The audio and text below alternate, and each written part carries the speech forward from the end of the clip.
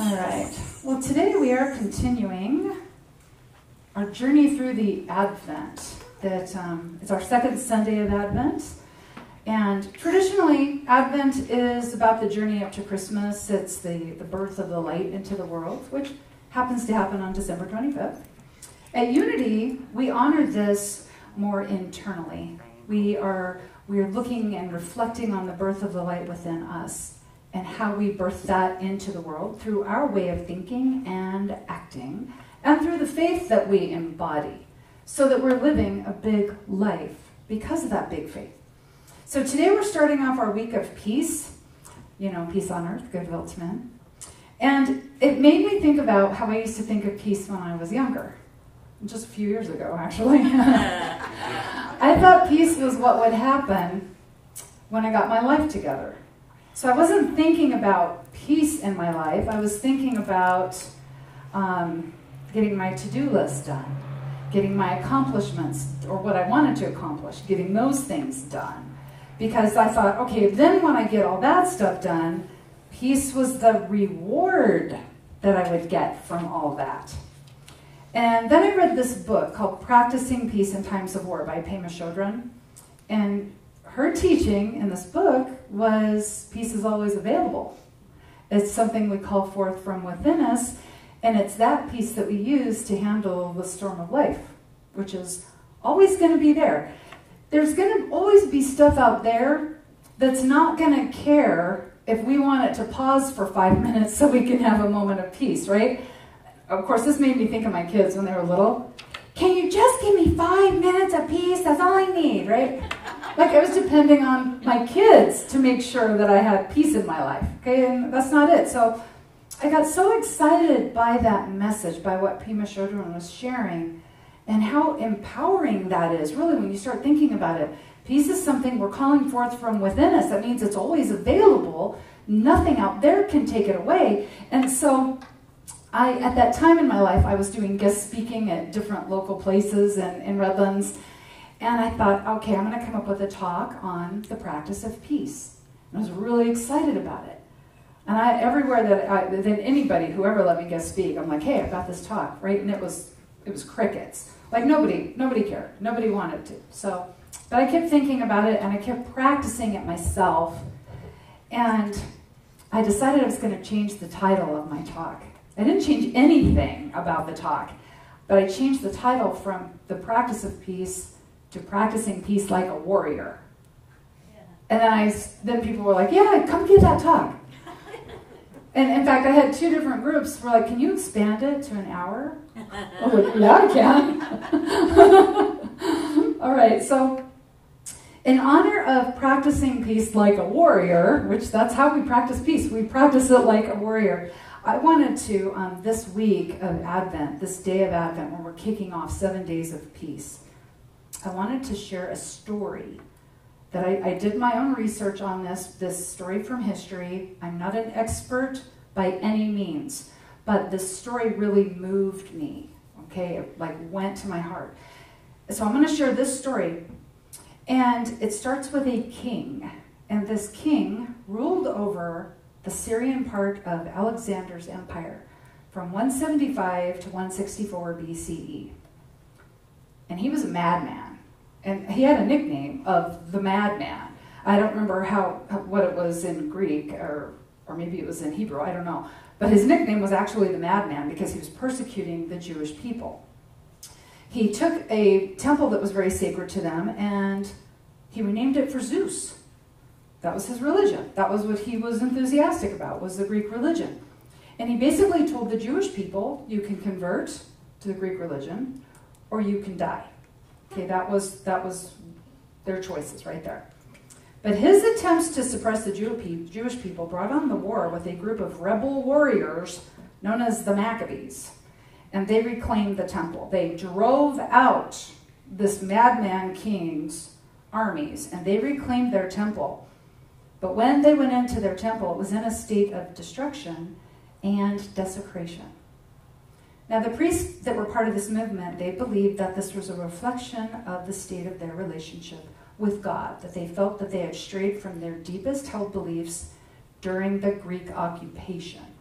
So they committed to healing that relationship and to rededicating the temple, which meant that they wanted to light their sacred menorah. The menorah represents the light of God, and the light of God spreading. When I was reading this, I thought, oh, that's so beautiful. It's the light of God spreading and giving of itself, not forcing itself on anybody, but it's just being giving and being available. And so it was important to them to do this right. They were going to do this right, which meant that they were only going to use the purest of oil in their menorah. Course, the problem was they only had one day's worth of oil. So they sent somebody to get the pure oil. They actually had crummy oil. I mean, maybe it wasn't even crummy, but it wasn't pure. But they really wanted to do this right because using the pure oil is what they decided would keep them in integrity with their beliefs. Doing a lesser version would not be in integrity with their belief system. So they sent somebody to get the pure oil. They burned what they did have. And miraculously, the oil lasted. This one day's worth of oil lasted for eight days. And that's when the other, this person showed up with the oil. So this is a very, very simplified uh, story about Hanukkah. So if this moved you, of course, you can do your own research. I encourage that. But then, of course, what does it have to do with the practice of peace? Um, what does it have to do with this time of Advent? Well, him, Hanukkah symbolizes dedication, right? There was a, a rededication of the temple. There was a the dedication in their hearts to go back to their, their purely held, deeply held beliefs. Because peace is not a passive action. Peace is not something we sit and wait for it to just settle upon us. Okay, peace is a, is a, is action. It's action. We cannot experience peace if we are not in integrity with our own deeply held beliefs. Peace comes through practice and dedication to our faith. What is the faith? What are, what are our deeply held beliefs? And that takes dedication. That takes commitment to live those beliefs. So we're not waiting for peace. We are practicing it so that we are in integrity with our deeply held belief system. And in the storm of life, we might have to practice peace like a warrior. Okay, like those rebel warriors. Okay, because there's always going to be, you know, some kind of crisis. There's always going to be something going on.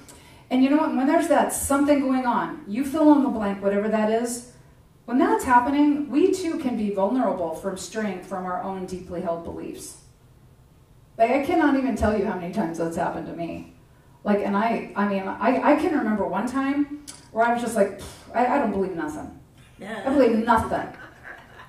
Right? Uh, and that was, you know, quite a while ago. But like, even when I held the unity beliefs, I would go for a while without practicing the unity beliefs either. I wasn't in, I wasn't in integrity with my own belief system, but I could feel it in my life because I was not at peace. So that's what we're going to experience. So, what moved me so much in that story was not the miracle of the oil lasting for eight days. What moved me in that story was the sacred uprising. And sometimes that's what we have to do in our own lives. We have to be willing. It's like, okay, I got to stand up and do the hard thing here. So, Hanukkah is a time for connecting to the inner light and making room for self reflection and growth. It is a time for dedication to our deeply held beliefs. And here at Unity, we can look at Advent as that also. Like it's a time to connect to our inner light, our inner being, our higher self, the God within us, whatever you want to call it, and make room, make time for reflection and growth. What are we going to do differently so that we are in alignment with our belief system so we can experience peace? So we're not just reflecting on the rebirth of the light into the world. We are we also have to decide if there may need to be a sacred uprising in our life practice. There may be something we're doing in our life that is actually keeping us from the practice of these principles. We experienced that when we did our complaint free living. Something as minor as complaining, choosing to complain and blame, that puts us out of alignment with these practices. It puts us out of alignment with the unity principles, something as simple as complaining and blaming. But also asking questions is, a, is an important part of this time of the year. Well, it's always an important thing, I guess, for us, but if we're here to facilitate the light being reborn into the world, are we asking the question, well, what's my part in this? What can I do to facilitate more light in my life so that I can help facilitate the wave of light that goes out into the world? So, reflection is just a start for us. Reflection leads us to that next action, that the next right thing that we can do in our life. From Isaiah 32 17, it says, The effect of righteousness will be peace, and the result of righteousness is quietness and trust forever. Righteousness is simply the harmony and peace we experience because of our practice of right thinking and right action, and calling forth our God given attributes faith, strength, wisdom, understanding, compassion, order, will, zeal, life, kindness, love, and patience. And there are a lot more you could think of. You could make a list of a hundred probably. So, the result of this practice, the result of establishing harmony in our consciousness, it's peace. Then, when we can feel that peace within us, we can be still and know that we are the activity of God in this world no matter what's going on out here. When we're filled with the peace of God, no matter what the storm of life may be bringing us in this moment, we understand that anything that we could possibly need, it's available to us somehow. This is what the gift of grace is. Anything that we could possibly need in our lives, it is available to us somehow. But we have to be open to receiving that information. Because it may not be something we actually do, it could be a direction to be in a certain place on a certain day at a certain time, and then we meet somebody who can help us. Or who says, I know a guy. And then you meet somebody else who can help. Right? So the universe, like, we're a gigantic puzzle, an interconnected puzzle, and we can be moved anywhere that can be helpful to us. Sometimes we're the piece moved in the path of somebody who needs help and we just know the right thing to say, or we know the right place to direct them. Or maybe we have something we can hand them. But practicing peace, it takes boldness. The Maccabees rose up against a corrupt ruler. They rose up a corrupt they rose up against a corrupt government. And they had to do a really hard thing to, to be in integrity. And when they rededicated their temple, they did not take any shortcuts they did the right thing, even though it was a hard thing, even though it was going to take time. They didn't know like how this was going to pan out. Now, when we are dedicated, when we're dedicated to taking care of our own temple, do we ever take shortcuts on that? Do we ever think, well, I'm going to do what's easy. I'm going to do what's available. But are we really dedicating ourselves to the light if we're only willing to do what's easy or what's available. Like, is that really a commitment to the light? I don't think it is. um, I saw just on a meme on social media signs of disempowerment.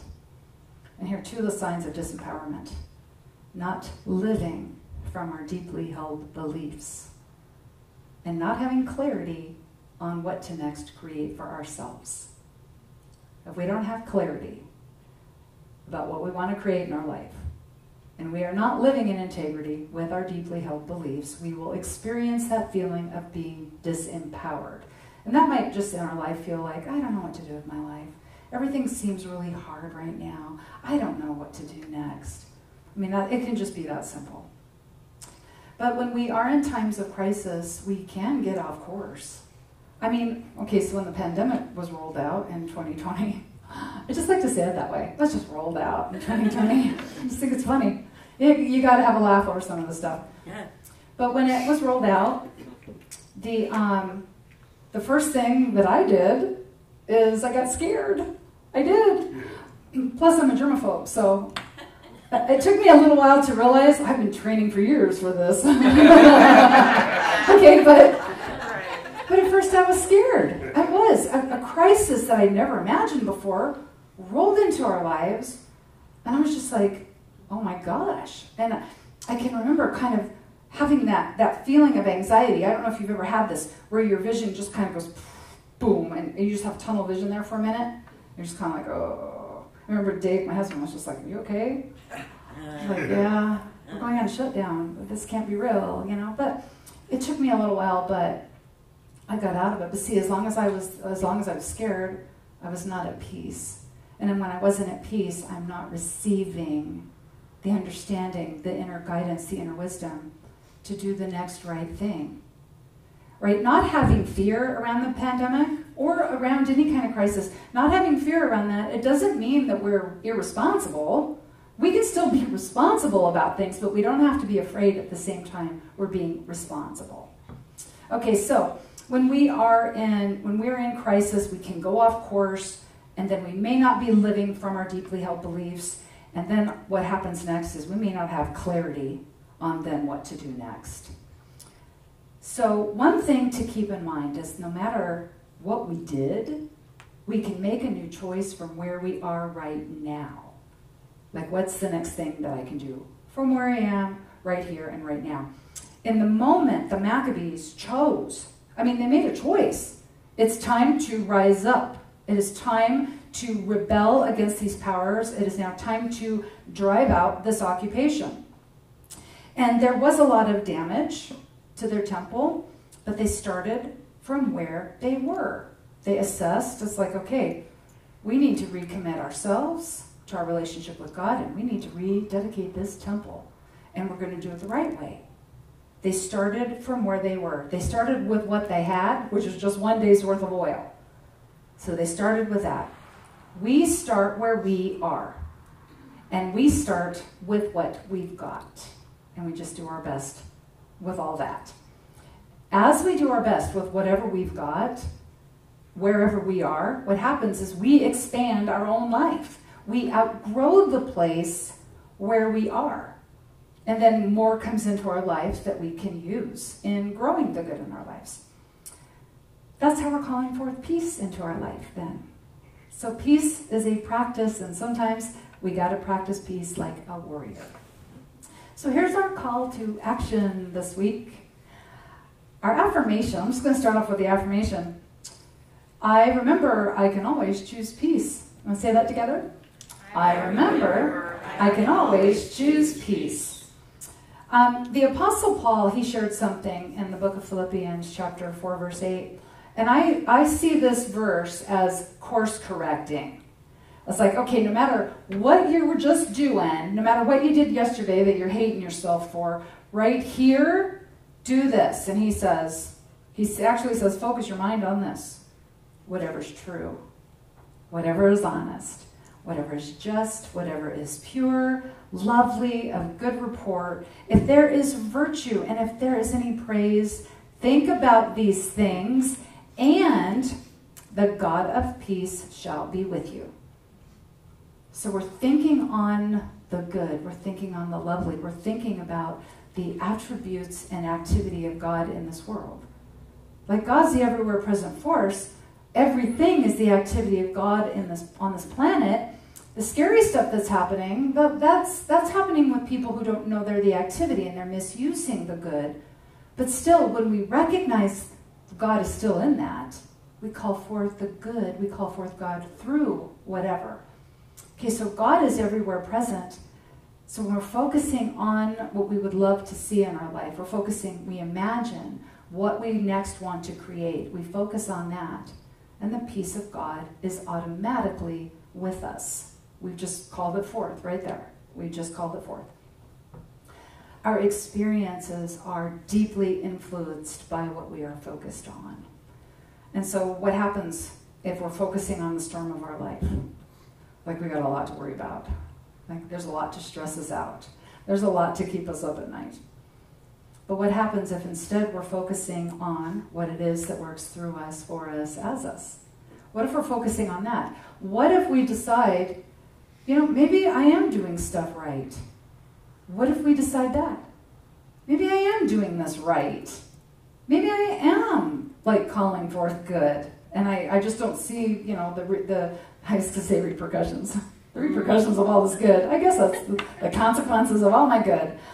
um, the benefit, though. Like maybe we're just not seeing it yet. But what if we already are doing things right? If we're doing it with love, if we're doing it with creativity, if we're doing it with excitement or zeal, we're already doing it right. Okay, so what is it? Are we focusing on that that works through us, for us, as us? Do we have clarity on our deeply held beliefs? Do we have clarity on that?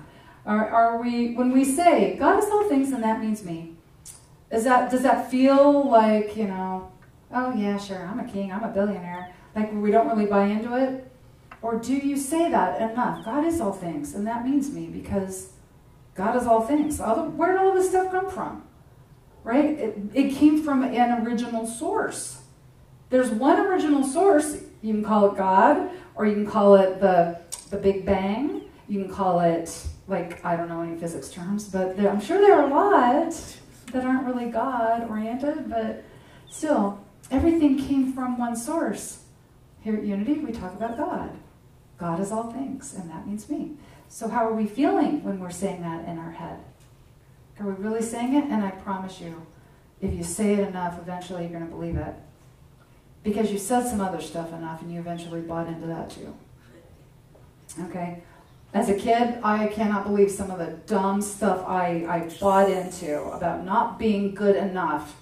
And we eventually start believing those negative things. So, you know what? We can start believing the good things too. We can start believing the things that empower us if we just repeat it enough.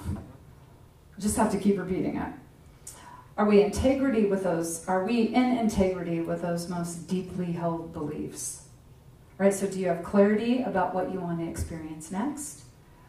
Are you are you clear about the things that make you feel good? Right? That make you feel creative, that make you feel connected to source, that make you feel like you are expressing something divine that's coming through you and like but you don't know where it came from. That's how we know we're creating and calling forth the divine through us because we're just like, where did that come from? Okay? Do you do things that make you feel bold?